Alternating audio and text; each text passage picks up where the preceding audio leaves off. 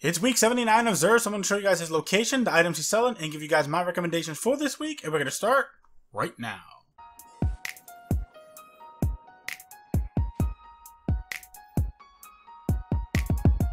What's up guys, Reckless here, welcome to Guardian Watcher. So, it is week 79 of Xur, but before we get into the video, if you haven't already entered into the Destiny 2 Forsaken uh, giveaway for the month of April 2019, then click on the link in the description box below for your chance to win.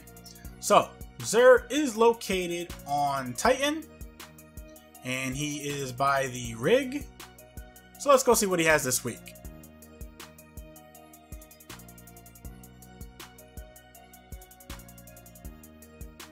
Xur! What's up, dude?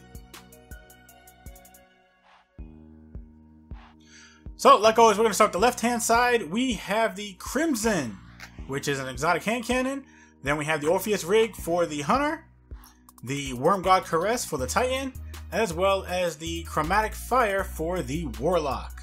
Like always, we're going to start with the right, oh, I'm sorry, the left hand side for the Crimson. In terms of perk on this is Banned Weapon, which this weapon, uh, this weapon fires a three round burst. Then we have Small Bore, Accurized Rounds, Cruel Remedy, which kills with this weapon wheel, uh, kills with this weapon heal the wielder. Precision kills also refill the magazine.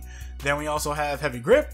This does have a few ornaments. One of them is Iridescent Death, and this is what it looks like.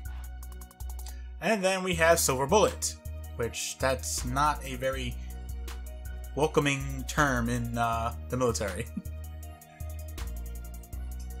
but anyways, so if you guys don't have this, go ahead and grab it. It is definitely a good PvE as well as PvP weapon. It is definitely going to get a tier 2 in both. If you guys don't know the tier scale, then I will put it in the description box below.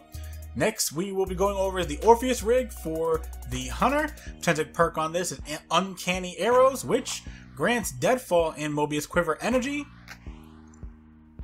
Then we have Fusion Rifle Dexterity, Hand Cannon Dexterity, Outreach, Scout Rifle Scavenger, as well as Special Ammo Finder. And this does have an ornament, I just don't have it, which is kind of weird. I thought I did. If you guys don't have this, go ahead and grab it. It is definitely a good exotic to use in PvE and PvP if you are doing Mayhem. Now, in PvE, this is going to get a tier 2. In PvP, in all aspects of PvP that is not Mayhem, this is probably going to get a 3.5 to maybe even a tier 4. But if it is Mayhem, then it definitely will get a tier 2. It is definitely good in Mayhem, but I don't think it's as good in Mayhem. Uh, I don't think it is as good in any other game mode besides Mayhem. Next, we got the Wormgod's Caress. In terms of perk on this is Burning Fists, which melee kills increase melee damage. Then we have Fusion Rifle Loader, Hand Cannon Loader, Impact Induction, Sniper Rifle Scavenger, as well as Machine Gun Scavenger.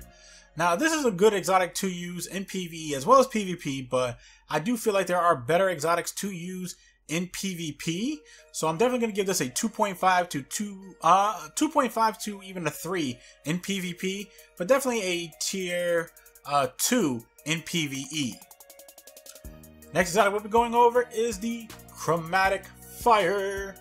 In terms of perk on this is Crystalline uh, Transistor, which kinetic uh, precision kills create elemental explosions. Then we have Unflinching Bow Aim, Unflinching Fusion Rifle Aim, Unflinching Kinetic Aim, Scout Rifle Reserves, as well as Special Ammo Finder.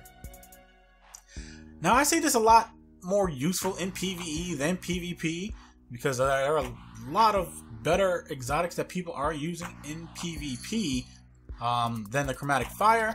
So I'm definitely going to give this at least a tier 2 in PvE E, but a 2.5 to even a tier 3 in PvP.